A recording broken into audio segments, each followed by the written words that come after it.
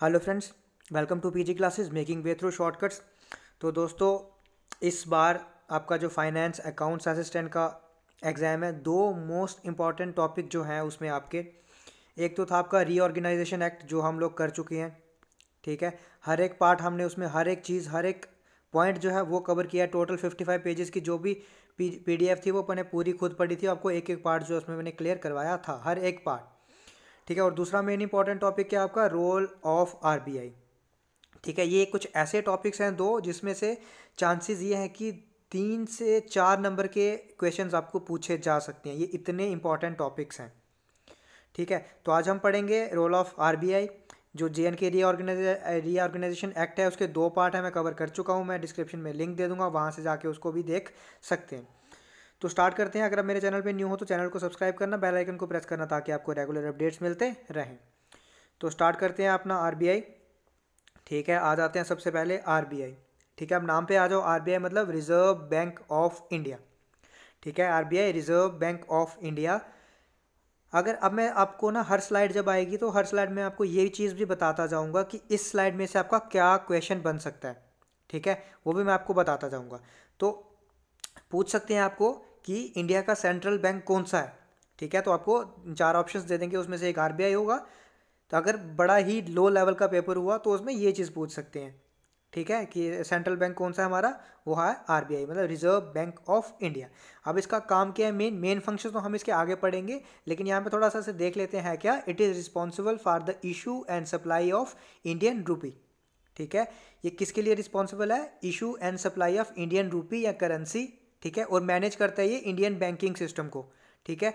जितने भी बैंक है, उसके फ़ंक्शन सारे किस, कौन मैनेज करता है? ये मैनेज करता है। और जितने भी इकोनॉमिक डेवलपमेंट के काम होते हैं, ठीक है?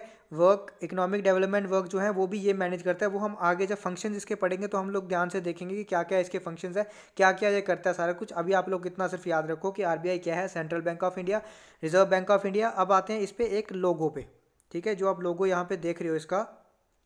कभी कभार आपको क्वेश्चन पूछ सकते हैं कि इसके लोगों पे ये जो बना हुआ है, ये क्या है? लाइन है टाइगर है पैंथर है, क्या है? और पीछे कौन सा पेड़ है? ठीक है? अब ये कौन सा पेड़ है? पीछे है आपका पाम ट्री ठीक है? ये है पाम ट्री और ये आगे है कौन? ये लाइन है टाइगर है, ये है आपका टाइगर ठीक है? याद रखना।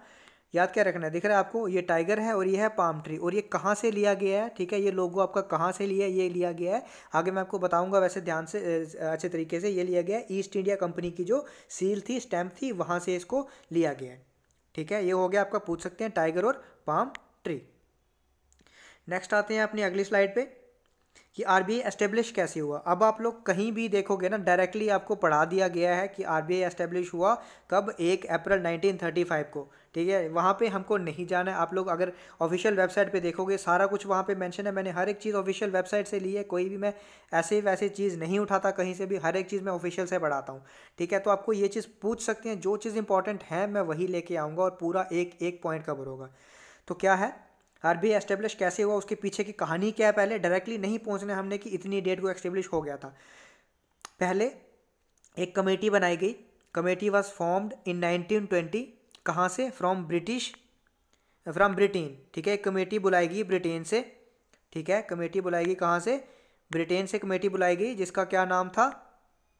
सॉरी वन सेकेंड हाँ ब्रिटेन से कमेटी बुलाएगी जिसको क्या बोला गया? Royal commission on India's currency and finance पूछ सकते हैं आपको कि कमेटी जो बुलाई गई थी या कमेटी बिठाई गई थी आरबीआई की एस्टेब्लिशमेंट के लिए, उसका क्या नाम था? कब बिठाई गई थी? नाइनटीन ट्वेंटी में उसका क्या नाम था? Royal commission on India's currency and finance और उसको क्या बोलते थे? उसको ये भी बोल सकते थे हिल्टन यंग कमेटी अब हिल्टन यंग कमेटी क्यों बोलते थे, सर? क्योंकि इसके जो चेयरमैन थे, इसके जो हेड थे कमेटी के, वो कौन थे? हिल्टन यंग थे। ये सारा कुछ ऑफिशियल वेबसाइट पे मेंशन है। अगर आपको कोई शक हो रहा है तो आप लोग वहाँ जाके देख सकते हो। अब क्या हुआ? इस कमेटी ने क्या किया? 1926 में अपनी रिपोर्ट्स सबमिट की। ठीक है? अब कोई भी कंपनी या कोई भी कमेटी बिठाई जाती है किसी चीज़ की एस्टेब्लिशमेंट के लिए या किसी के लिए तो वो अपनी रिपोर्ट एक सबमिट करती है अपनी रिपोर्ट जो है वो असेंबली को सबमिट करती है कि भाई हमने ये ये चीज़ें नोट की है, ये चीज़ें होती हैं, या, ये चीज़ें हैं तो ठीक है, उसने रिपोर्ट सबमिट की और वो रिजेक्ट हो गई।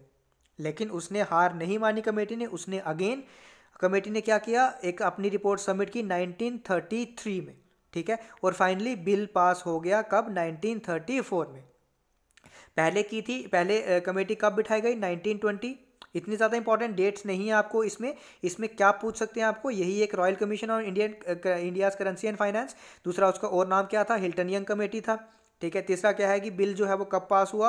वो हुआ 1934 में, जिसको क्या बोलते हैं? उसको बोला गया आरबीआई एक्ट ऑफ़ 1934 और अगर पूछा जाए सवाल कि आरबीआई जो है वो किस किस एक्ट के अंडर बना। मतलब किस एक्ट के अंडर या किस एक्ट के थ्रू एस्टेब्लिश हुआ तो वो कौन सा एक्ट था? आरबीआई एक्ट ऑफ़ 1934 ठीक है? तो नाम क्या था? Hilton Young committee. तो ये याद रखना आपको, मोस्ट इंपॉर्टेंट पॉइंट्स हैं ये। नेक्स्ट हम लोग चलते हैं आगे। अब है कि कब एस्टेब्लिश हुआ। ये तो हमने देख लिया कि कैसे हुआ। अब आपने देखा कि 1934 में एक्ट तो पास हो गया। ठीक है? जब भी कोई बिल पास हो जाता है, उसको क्या बोल बोल देते हैं हम लोग? एक्ट। ठीक है? तो एक्ट तो पास हो गया कब? 1934 में। अब एक्ट पास हो गया, लेकिन अभी भी क्या था? आपको पता है कि जब कोई एक्ट पास होता है तो अभी वो पेपर्स पे ही था, अभी वो डॉक्यूमेंट्स पे ही था, लेकिन उसको सही में आने में कितना टाइम कब आया वो सही में? वो आया एस्टेब्लिश कब हुआ इफ़ेक्ट में कब आया? वो आया फ़र्स्ट अप्रैल 1935 को। मोस्ट इंपॉर्टेंट डेट आपको ये यहाँ से पूछ सकते हैं, इसी स्लाइड से आपको एक क्वेश्चन पूछ सकते हैं। क्या पूछ सकते हैं कि आरबीआई कब एस्टेब्लिश हुआ? हुआ फ़र्स्ट अप्रैल 1935 को। और उसका पहला हेडक्वार्टर कहाँ था? फ़र्स्ट हेडक्वार्टर जो था उसका कोलकाता में था। ठीक है? फ़र्स्ट हेडक्वार्टर कहाँ पे था? कोलकाता में था। और उसको शिफ्ट कर दिया गया कब? 1937 में उसके हेडक्वार्टर को शिफ्ट कर दिया कहाँ पे? मुंबई में शिफ्ट कर दिया गया। इसको ड्रीम सिटी भी बोला जाता है। ठीक है? 1935 को एस्टेब्लिश हुआ। 1937 को उसको शिफ्ट कर दिया गया, उसके हेडक्वार्टर्स को कहा? कोलकाता से मुंबई में शिफ्ट कर दिया गया। दो क्वेश्चन जिससे बन सकते हैं। नेक्स्ट है। अब आपको पता है 1947 से पहले क्या था? ठीक है? ये क्या था? प्राइवेट बॉडी थी एक आरबीआई ठीक है? इसमें से, इस स्लाइड में से क्या क्वेश्चन पूछ सकते हैं कि नेशनलाइजेशन ऑफ़ आरबीआई मतलब आरबीआई को कब नेशनलाइज किया गया? नेशनलाइज कब हुआ आरबीआई गवर्नमेंट के अंदर कब आया आरबीआई तो वो हुआ first Jan 1949 most important point first Jan 1949 को ये नेशनलाइज हुआ। और जैसे कि आप प्रिपेयर कर रहे हो फाइनेंस अकाउंट्स असिस्टेंट के लिए तो फाइनेंस मतलब आपको ये क्वेश्चन मोस्ट इंपॉर्टेंट बन जाता है कि उसकी इनिशियल कैपिटल कितनी थी। Most important question initial capital कितनी थी? उसकी इनिशियल कैपिटल थी फाइव करोड़ ठीक है नेशनलाइज कब हुआ? फ़र्स्ट जैन 1949 को, और उसकी इनिशियल कैपिटल कितनी थी? पाँच करोड़ ठीक है? नेक्स्ट आते हैं अब इसके ऑफ़िस ठीक है? इसके चार लोकल बोर्ड ऑफ़िस हैं, कहाँ कहाँ पे? मुंबई में, कोलकाता में न्यू दिल्ली में और चेन्नई में, ठीक है? ईस्ट वेस्ट नॉर्थ साउथ चारा, सारा कवर हो गया, ठीक है?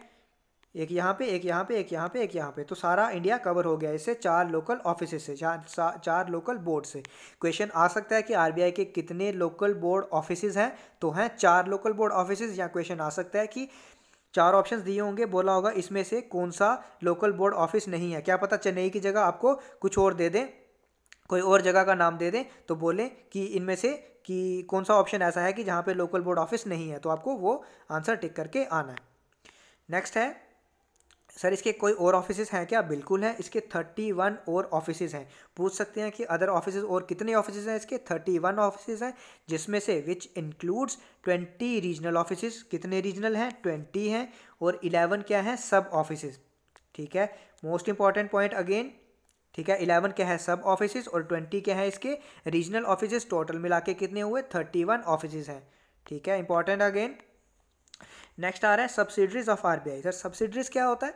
सब्सिडरीज को मानो आप सब्सिडरीज मतलब ब्रांचेस ठीक है? सब्सिडरीज क्या होता है? सब्सिडरीज मतलब ब्रांचेस सर क्या ये इंपॉर्टेंट है? नहीं. इतना इंपॉर्टेंट नहीं है. सिर्फ़ आपको क्या करना है? इसके बारे में, सबके बारे में आपको पढ़ना नहीं है. सिर्फ़ आपको इसके थोड़े से नाम एक बार देख लेने हैं ध्यान से आपको हो सकता है आपको क्या क्या पूछ लें वो.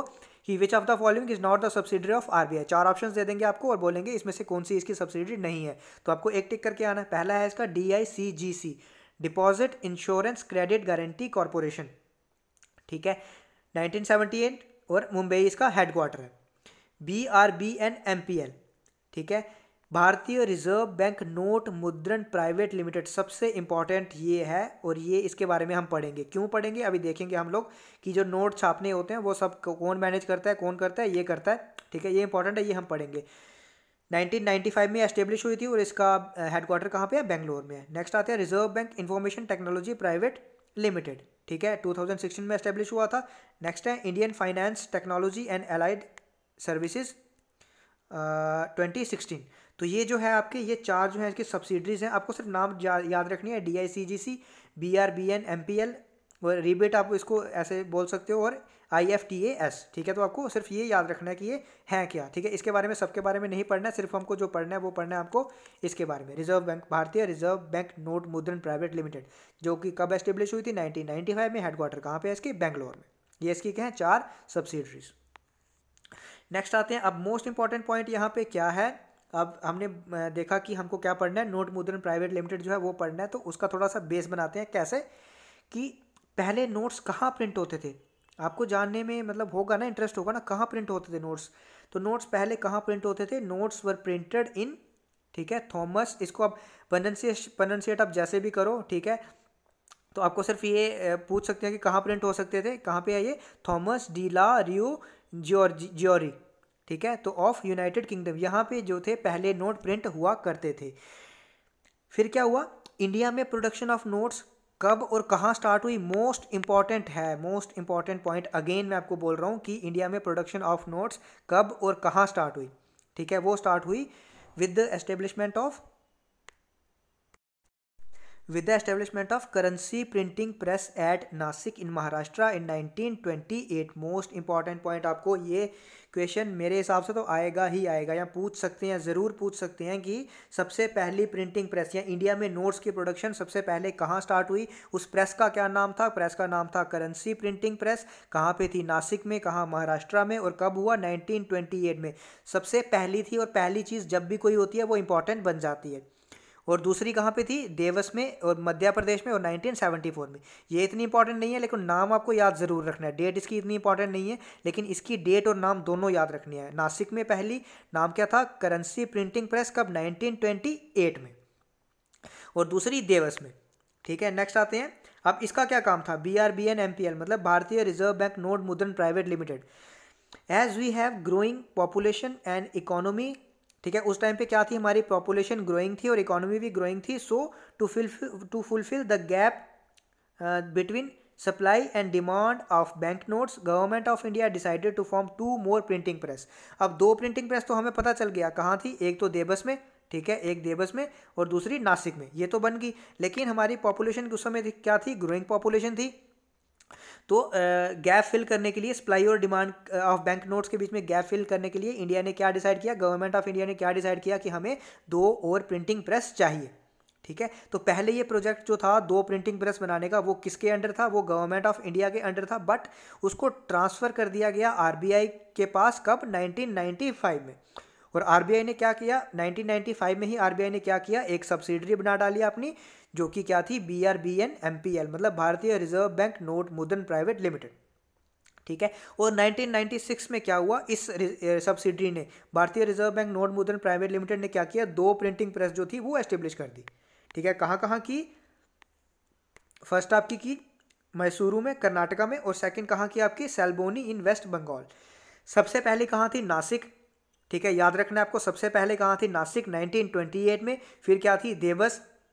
ठीक है नाइनटीन थर्टी फोर इतना इंपॉर्टेंट नहीं है डेट उनकी। ठीक है, उनका नाम इंपॉर्टेंट है। और फिर क्या किया? नाइनटीन नाइन्टी फाइव में आरबीआई ने एक सब्सिडरी बनाई, Bharatiya reserve bank note Mudran private limited. उसने 1996 में क्या कर दिया? दो अपनी, दो प्रिंटिंग प्रेस एस्टेब्लिश कर दी, जो कि थी एक मैसूर में थी और एक सेल्बोनी में थी। ये मोस्ट इंपॉर्टेंट है, आपको पूछ सकते हैं कि इंडिया की इंडिया के पास कितनी प्रिंटिंग प्रेस हैं। ठीक है? तो चार प्रिंटिंग प्रेस है, क्या पता आपको ऑप्शंस में चार दे दें और एक कहीं पे और नाम दे दें कोई और तो बोले इसमें से कौन सी ऐसी है जो नहीं है आरबीआई मतलब जहाँ पे नोट जो है नहीं छापे जाते अब ये जो दो प्रिंटिंग प्रेस थी, ये they result for nearly two third of the production of notes in India ठीक है?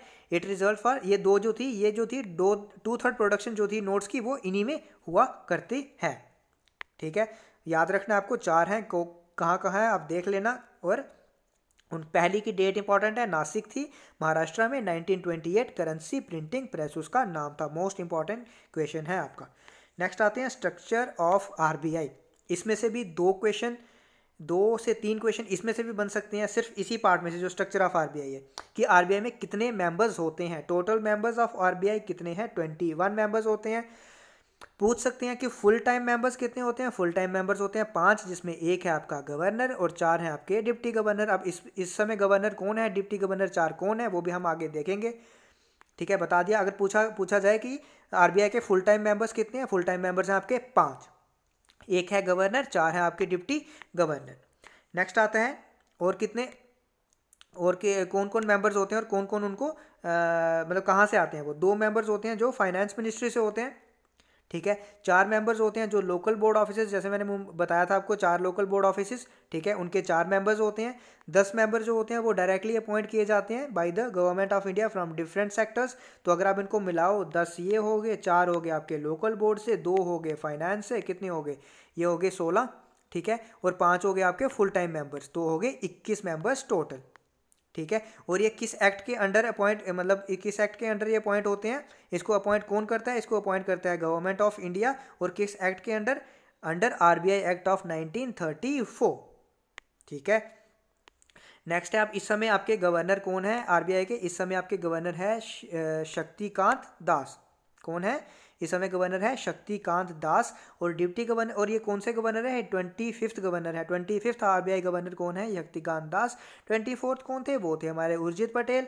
ठीक है, अब चार जो है इसके डिप्टी गवर्नर, क्या कौन कौन है? Shri B P Kanungo M K Jain M D Patra M R Rao हो सकता है आपको चार ये ऑप्शंस दे दें नीचे, इसमें से एक आपको ऐसे दे दें, कोई और नाम लिख दें और बोल दें कि इसमें से कौन सा डिप्टी गवर्नर नहीं है, या फिर चार ऑप्शंस दे दें कि कौन सा इसमें से डिप्टी गवर्नर है तो आपको नाम ये याद रखने होंगे।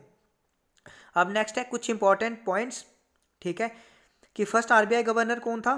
फ़र्स्ट आरबीआई गवर्नर थे ऑसबॉर्न स्मिथ जिसको ओ बी स्मिथ भी बोलते हैं। इनका पूरा नाम क्या है? ऑसबॉर्न स्मिथ जिनको ओ बी स्मिथ भी बोलते हैं। नेक्स्ट है first Indian governor of RBI Indian governor ये तो थे फ़र्स्ट गवर्नर अब आ गया फ़र्स्ट इंडियन गवर्नर कौन थे? वो थे सी डी देशमुख ठीक है? फ़र्स्ट फीमेल आपको पता है, एक तो फीमेल और ऊपर से फ़र्स्ट मतलब बहुत ज़्यादा important first female deputy governor कौन थे आरबीआई की?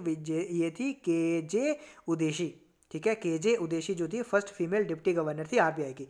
नेक्स्ट है longest serving governor of RBI कौन थे? सर बंगाल रामा राव जिनका टेन्योर कितना था? सेवन ईयर्स ठीक है? नेक्स्ट था. शॉर्टेस्ट सर्विंग गवर्नर कौन है आरबीआई के? कौन थे? वो थे सर अमिताभ घोष, जिनका टेन्योर कितना था? ट्वेंटी डेज़ तो ये हम इतना ही रखेंगे। वीडियो लंबी हो रही है। आज के पार्ट में हम इतना ही रखेंगे। नेक्स्ट जो पार्ट होगा, इतने इंटरेस्टिंग अभी ये चार से पाँच पॉइंट सिर्फ़ कवर हुए हैं। इसमें दस से पंद्रह पॉइंट है, जो कि इंपॉर्टेंट है कि कौन से ऐसे आरबीआई गवर्नर थे? ओनली आरबीआई गवर्नर जो कि प्राइम मिनिस्टर बने हैं, या फिर और जो है, और जितने भी इंपॉर्टेंट पॉइंट है, मैंने सारे आगे आपके लिए बना रखे हैं, सारी स्लाइडें बना रखी हैं, लेकिन पॉइंट वीडियो जो था लंबी हो रही है तो इतना ही आज रखेंगे।